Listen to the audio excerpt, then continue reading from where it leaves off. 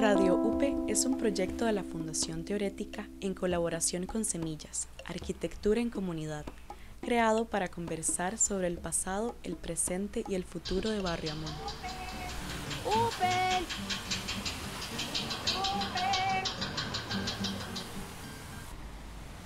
¿De quién es el espacio público aquí en Barrio Amón? ¿Es de todo el mundo?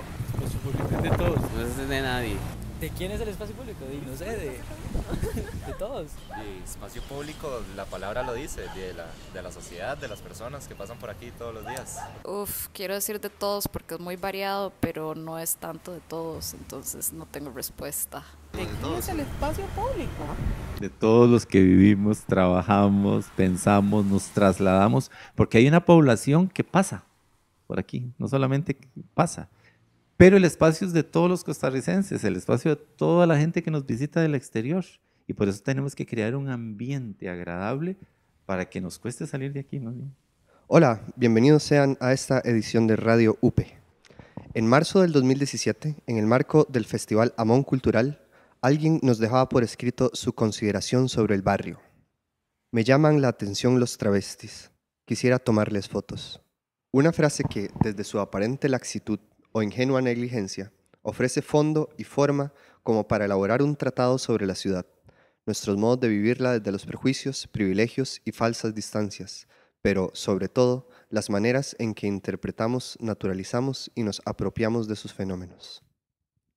Para esta edición nos encontramos con Manuel Morales, Paula Piedra y Sofía Suárez y vamos a hablar un poco sobre los resultados que han tenido estos podcasts anteriores.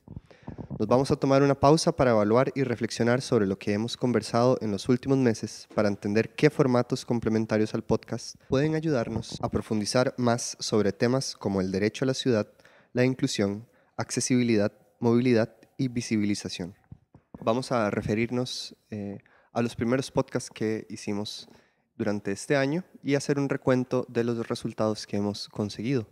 Em, para eso voy a hablar con Manuel Morales y preguntarle sobre em, lo que recuerda de esos podcasts, de quién es el espacio público en Barrio Mon y de cómo eso se asocia con nuestros últimos dos podcasts sobre la convivencia con el comercio sexual. Bu- Bueno, creo que em, más que respuestas, lo que nos ha dejado estos primeros o esta primera serie de podcasts eh, que han sido encuentros eh, con diferentes personas, personajes, tanto habitantes del barrio como personas que lo frecuentan desde otros lugares y desde otros intereses, lo que nos ha dejado son preguntas, son más inquietudes, que son interrogantes a fin de cuentas muy comunes y muy frecuentes cada vez que hablamos de espacio público. Eh, una de las eh, principales conclusiones o de los hallazgos eh, más importantes, a mi parecer, es, es un hallazgo que es muy típico cuando se explora el tema del espacio público a nivel de ciudad y a nivel urbano, eh, que es la escasa comprensión que tenemos acerca de qué es espacio público y de las múltiples eh, diferencias que manejamos eh, a nivel conceptual sobre lo que es el espacio público como fenómeno, eh, como espacio social, relacional, eh, como ambiente en el que nos desenvolvemos, como cotidianeidad, eh, como tema eh, visto desde una dimensión intelectual, académica, profesional y especialmente como espacio cultural. Nos damos cuenta de que es un concepto eh, cuyas divergencias radican en gran medida en su ambigüedad o en su, indefin- su indefinición. Inclusive es interesante porque eh, los mismos técnicos y teóricos del espacio, ¿verdad? Quienes eh, trabajan o trabajamos en estas temáticas, no manejamos terminologías o conceptos eh, comunes, ¿verdad? No hay como un glosario conceptual claro alrededor del término y sus alcances. Entonces, cuando salimos a preguntarle a la ciudadanía en general, ¿verdad?, sobre los espacios públicos, cómo, cómo los percibe, cómo los vive, cómo los, los asimila, cómo los interpreta en su cotidianeidad y, y- y en su afectividad, nos encontramos con toda una serie de testimonios, eh, de relatos, eh, de interrogantes, de inquietudes, de dudas, em, que pues lo que generan es, es, es como un acervo de, de como decía, de, de, de cuestionamientos súper válidos que lo que nos hacen ver es eh, los enormes vacíos que siguen habiendo en el abordaje de, de este tema, ¿verdad? Y sobre todo de, de la visión fenomenológica que hacemos eh, de este tema y, y, de todos los subtemas que hay eh, relacionados con, con, el espacio público en, en sí mismo. Creo que nos damos cuenta también cómo cómo cambia o, o, a veces las abismales eh, divergencias o diferencias que puede haber entre cómo comprendemos los teóricos o técnicos del espacio eh, al espacio público en sí, a cómo lo interpretan o cómo lo entiende la ciudadanía a nivel general, ¿verdad? Y cómo a veces hablamos lenguajes muy distintos, ¿verdad? Eh, eh pretend cuando pretendemos estar eh, conversando, dialogando acerca de lo mismo, nos damos cuenta de que de repente lo dimensionamos de muchas formas diferentes y, y, esos dimensionamientos a veces no los tenemos en cuenta a la hora de hacer los análisis o de sacar las conclusiones y hacer las recomendaciones eh, del caso, ¿verdad? La, cuando se hacen reformas al espacio o, o planeamientos, etcétera. Eh, entonces nos encontramos como con un hojaldre de, de conceptos e ideas que de repente pretendemos este, consolidar en el papel o en los planes urbanísticos, este, y perdemos de vista la complejidad y la multiplicidad de criterios y de, y, y de puntos de vista y perspectivas este, que hay dentro de toda esa red también compleja que es, que es la ciudadanía, ¿verdad? Y nada más aquí acotar una cosa que es muy importante, que recordar que no es lo mismo la ciudad que lo urbano, ¿verdad? La ciudad es todo aquello eh, que está materializado morfológicamente, ¿verdad? Eh, eh, a nivel técnico y a nivel constructivo, y lo urbano es todo lo que flota dentro de aquello que llamamos ciudad. Entonces, eso es muy importante también a tener en cuenta, porque a veces pretendemos eh, hablar de un tema cuando estamos posicionados en el otro, ¿verdad? y perdemos de vista las, los vacíos o, o, o las, eh, las contradicciones que puede haber, ¿verdad? Cuando estamos hablando de una cosa desde algún otro lugar. Y creo que, bueno, entre muchas otras cosas, para mí estos podcasts tienen, tienen el gran valor de que nos ha reflejado eh, muchas de esas contradicciones, algunas otras paradojas, nos ha venido a reforzar también algunas premisas eh, eh, o, hipótesis o supuestos que teníamos desde un inicio, nos ha venido a, desmentir otras, pero sobre todo lo más rico que, ¿verdad? De, de, todo este proceso de escucha y diálogo, este, a mi parecer, ha sido la sensibilización que genera, ¿verdad? Abrir un espacio seguro eh, que permite un canal de comunicación en donde la gente puede hablar de estas cosas sin tapujos, ¿verdad? Y podemos someter a encuentro y a, choque y a catarsis, ¿verdad? Este, muchas de estas perspectivas distintas. En cuanto a la pregunta de que cómo se convive con el comercio sexual en el barrio, en Barrio Amón, pues más bien es cómo trata uno de no convivir con el comercio sexual? Eh, yo diría que es una convivencia forzada. Yo creo que eh, a ningún barrio le gusta que dentro de su barrio se dé un comercio sexual, de, de prostitución, de, de, salas de masaje, de, no sé, transvestis en la calle. Creo que también hay otra clave en este sentido y es eh, revisar cómo estamos construyendo la identidad barrial.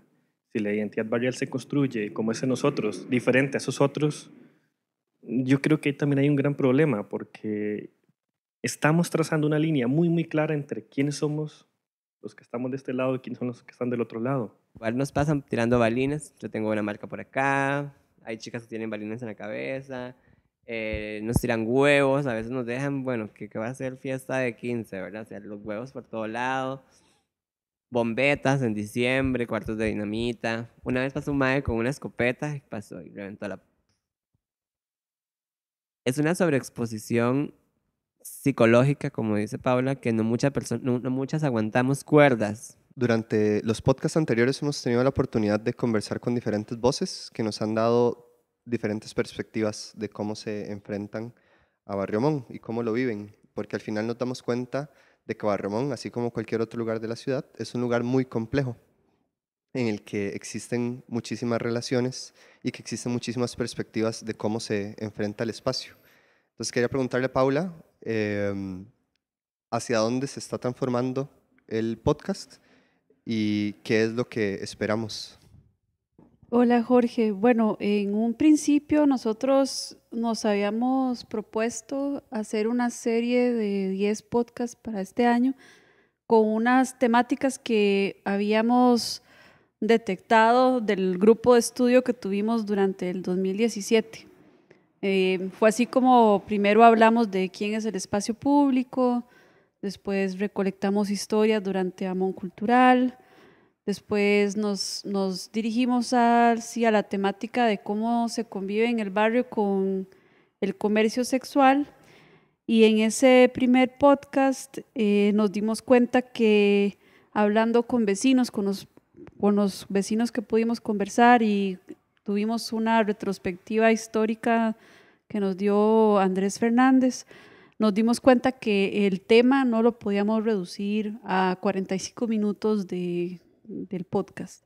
Entonces decidimos hacer una segunda parte complementaria para, para escuchar eh, a Natalia Porras, que ella es trabajadora sexual aquí en el barrio, y después de esa conversación para nosotros fue muy evidente que ahí tampoco se podía cerrar el tema, porque, mm, como dice Manu, lo que nos dejó fueron todavía más preguntas. Eh, pone sobre la mesa, yo creo que ella puso sobre nuestra mesa dos, dos puntos como que no podemos de pasar por alto. Uno, nos dijo que ella se siente parte de Barremont, que este es su lugar de trabajo para ella y para, para la comunidad de chicas trans que están acá. Eso, digamos, no se puede obviar. Y dos, em, también nos manifiesta una voluntad a crear puentes de comunicación o algún tipo de relación con el barrio más allá de esa relación que ellas han establecido, que se lee como informal o que se lee como temporal o que se lee como pasajera al punto de que se desea que no estuviera. Entonces, creo que a raíz de esas dos inquietudes que nos dejó em, y también habiendo conversado antes con Luis Serra, que él tiene una herramienta que nos presentó una herramienta para hacer mapeos que nos dejarían resultados para poder ampliar esta investigación o profundizar con respecto al, derecho a la ciudad.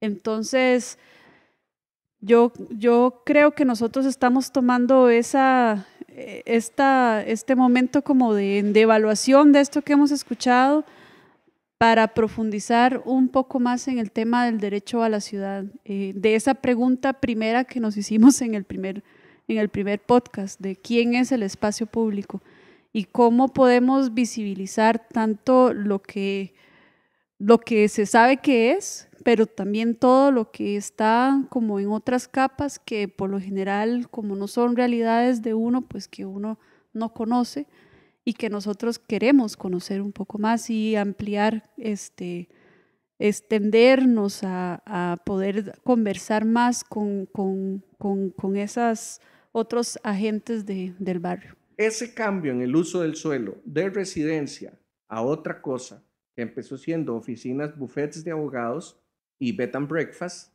de ahí al surgimiento muy pronto, en esa misma década de los 90, del turismo sexual, fue increíble, increíblemente vertiginoso. Con la llegada del turismo ya como política del Estado, ya no solo con un ICT, sino como una política del Estado de venderse, invertir muchos millones en el exterior para vender al país, etc. La llegada del, turismo sexual fue muy pronta, tan pronta que terminando la década de los 90 y arribando al 2000, muchos de los bed and breakfast ya estaban convertidos en salas de masaje y prostíbulos. Claro, porque en esta ciudad burguesa, mientras no toquen la casa de abuelita, yo no brinco. Mientras fuera en La Puebla, mientras fuera en Calle 12 mientras fuera en, en, en Tierra Dominicana, yo no tengo problemas. Esos son pobres, son putas, son ladrones y son negros. Ay, pero cuando pusieron un putero en la casa de abuelita, ah, entonces no, es, es una reacción absolutamente hipócrita, moralista, que no, y más bien pequeño burguesa, que no tiene nada que ver con una preocupación por el asunto de la prostitución, sino por una cuestión de que me invadieron el espacio que era tradicionalmente de mi familia, mío y de mi clase. Entonces yo creo que esa ignorancia de lo que es el otro genera mucho miedo. Nunca cruzas, para mí sería muy interesante dentro de un ámbito seguro, porque no voy a parar en la calle a preguntarles nada, porque no es lo que se presta dentro de un ámbito seguro, poder eh, generar un diálogo. Sí. Sobre todo escuchar, porque escuchar todo aquello que uno no entiende. Generalmente te pasa que donde hay conocimiento hay más empatía. Lo que pasa es que habría que ver quién está mediando eso. No, no, no, mediando aparece quién. Siempre eso, eso sucede. No. ¿Quién iría sin hacerlo de una forma agresiva? Porque sí. yo creo que hacer un espacio de estos para ofender no tiene caso. No. Hay que ir uno realmente eh, a escuchar. Creo que algo muy importante es la capacidad de teórica en ese sentido, de decidir eh, profundizar en el tema y no tener que responder, digamos, a tener que hacer todos los 10 podcasts y abordarlos de una manera superficial, sino que verdaderamente ha sido un proceso de investigación en que nos hemos dado cuenta de que es necesario profundizar en estos temas, porque antes no se ha hecho. O si se ha hecho, ha sido mediante otros medios y este ha sido como, eh, al menos teórica, se presenta como este espacio de diálogo que puede abrir un puente entre eh, varias, varios sectores de Barriamón, por así decirlo. ¿no? Y al final, de alguna forma, responde a la pregunta que inicialmente se formuló y que dio cabida a este podcast o, al, proyecto de podcast, que es cuál papel quiere jugar Teorética en Barriamón. Y este a me parece que es un papel mucho más protagonista y mucho más... Eh, pues que busca de alguna manera tener algún impacto en la comunidad. Em, sí, en ese sentido yo creo que Teorética y Semillas o UP en general quiere ponerse como la bandera de eh, el tema un poquito incómodo dentro del barrio, del que muy poca gente está hablando porque ya estamos hablando de patrimonio, ya estamos hablando de em, intervenciones urbanas, de aristocracia, ¿verdad? Y pero está toda esta vida urbana y población que se siente muy segura en el barrio, que lo ocupa, que trabaja en él y que será la primera en irse si en algún momento el barrio eh, eh, se transforma de una manera ¿verdad? negativa o gentrificadora, por decirlo así. Entonces yo creo que ese es, ese es el papel que queremos tomar, ese es el, la perspectiva que le queremos dar al, al, asunto. Sí, que también no, o sea, que yo creo que teórica es una, una sombrilla, pero yo sí quiero como decir que el proyecto ha sido concebido con, junto con semillas y que nosotros desde un principio nos propusimos una metodología sin metodología. O sea, nosotros no tenemos eh, ningún problema, o sea, ni, yo no siento que esto sea un, ay, no funcionaron los podcasts, esto no es, es simplemente que cuando uno hace, se despiertan o surgen otras eh, inquietudes, aparecen otras herramientas y creo que lo que vamos a hacer no es eliminar por completo esta, sino complementarla porque, porque el asunto lo, está demandando. Eh, entonces, eh, e, esa es tal vez como la cancha en la que estamos jugando. Bien, pero entonces, em, ya sabemos que el proceso del podcast ha dado ciertos resultados que nos hacen cambiar de dirección em, y que eso no exime el hecho de que en un futuro vuelvan a aparecer más podcasts. Pero entonces, ¿a qué nos enfrentamos en los próximos meses? ¿Qué es lo que tienen en mente que va a pasar? Bueno, hay dos eh, iniciativas que en este momento se están, están como posibles colaboraciones, como posibles, pero yo diría que son, o sea, y como ya dije, yo creo que vamos a complementar este proceso con los talleres de, de mapeo de Derecho a la Ciudad, eh, dirigidos por el arquitecto Luis Serra. Y también este, estamos eh, colaborando con el proyecto Habitar de Mauricio Tárola, que él también es arquitecto y que es un proyecto que se está también gestando desde, desde el TEC. Y mm, eso se va a, a extender hacia el 2019 porque con estos talleres de Luis, más los podcasts que estamos haciendo y lo que falta por hacer, en el 2019 queremos poder mostrar de alguna manera más públicamente todo el material que, que estamos recolectando. Eso todavía no tiene una forma específica, pero yo creo que es que es parte de esa forma, no la queremos preestablecer, queremos hacer el trabajo para, para llegar a eso. Estos talleres, ¿para cuándo más o menos los esperamos y qué tipo de inscripción o qué tipo de personas pueden participar en él? Bueno, primero vamos a tener una etapa de validación de la herramienta que vamos a utilizar para los talleres de mapeo.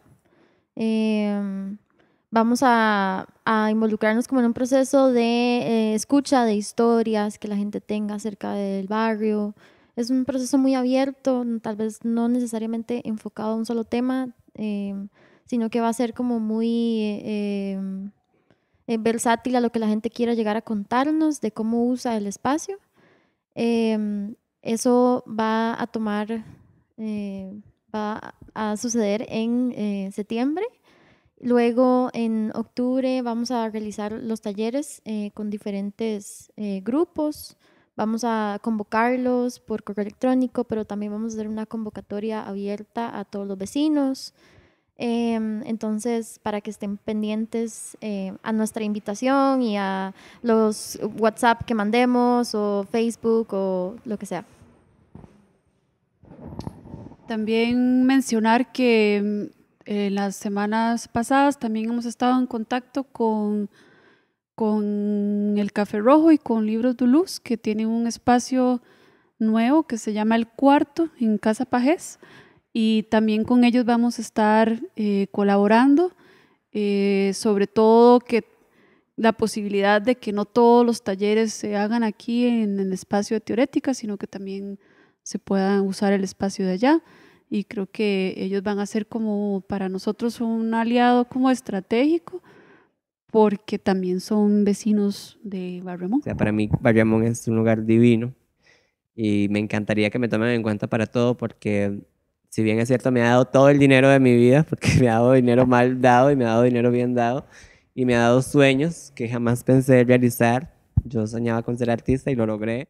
Sí, una, una de las cosas además que, que, me parece que ha sido muy valioso de, de UPE como proyecto y, y, de Radio UPE como, como espacio de diálogo, tertulia, es que ha, ha permitido justamente eh, abrir un espacio que no tiene un guion rígido, eh, preestablecido, sino que, bueno, a pesar de que se abordan algunas eh, temáticas intencionalmente, ¿verdad? En algunos casos, eh, ha permitido un diálogo franco, abierto eh, e incluso espontáneo, ¿verdad? En muchos casos. Entonces, eh, las mismas personas participantes postulan y proponen sus temas de acuerdo a, a sus intereses, a sus eh, prioridades, preocupaciones, angustias. Eh, y desde ahí, eh, otra de las cosas que, que, más rico ha sido, ¿verdad? Y que creo que, que también este, em, tiene, eh, presenta un enorme potencial para los talleres y las actividades que vienen, tiene que ver con que eh, se, se, aborda Barriamón y sus espacios eh, públicos, sociales, sus dinámicas socioespaciales más desde las relaciones propiamente que desde sus elementos constituyentes, ¿verdad? Entonces, bueno, que es algo que normalmente no se hace. ¿Verdad? Y, a partir de, de, cómo se establecen esas relaciones, esas dinámicas socioespaciales, pretendemos reinterpretar, reconocer y entender de otras maneras el espacio físico material, ¿verdad? Casi siempre eh, en urbanismo este, o en proyectos técnicos, incluso desde la academia, suele hacerse al revés, ¿verdad? Se pretende entender lo socioespacial desde lo material y, e, e impactarlo y modificarlo desde ahí. Pero nosotros tenemos claro y, y, es parte como de la premisa desde la que hemos pretendido postular este proyecto desde un inicio, eh, que hay que entender qué es lo que está ocurriendo antes de pretender cambiarlo o modificarlo, ¿verdad? Que es lo que, lo que tanto vemos en muchas otras zonas de, de nuestra ciudad, donde están ocurriendo cosas que para el mercado se, podrán ser muy interesantes, ¿verdad?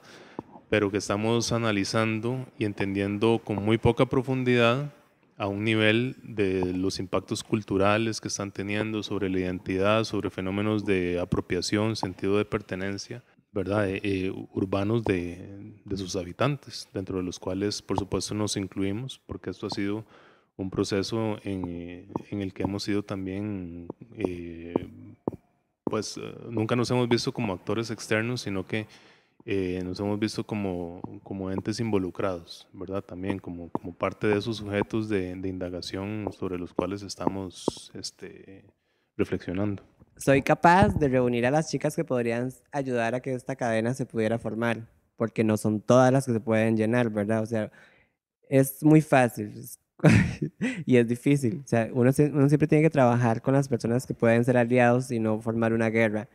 Y eso es lo que yo quiero con Barriamon. Si usted, y porque por, te los pido por favor, o sea, no pueden, o sea, no nos pueden echar de así, ni nos pueden dejar así, porque yo soy una de las personas que ha trabajado durante años acá y me siento más protegida acá que en ningún lado. Lleno de perspectivas diferentes y de nuevas relaciones que se construyen en los próximos meses. Em, hasta acá dejamos esta temporada de podcast de Radio UPE, que consideramos bastante exitosa y con resultados muy enriquecedores para todos y para todas. Em, así que los dejamos atentos a la información que les va a dar teorética y semillas sobre estos nuevos talleres. Y nos quedamos también atentos a ver cuándo será la próxima vez que nos escuchamos en Radio UP. Muchísimas gracias a Paula Piedra de Teorética y a Sofía Suárez y Manuel Morales de Semillas. Mi nombre es Jorge Salazar. Que le pasen muy bien el resto del 2018. Hasta luego.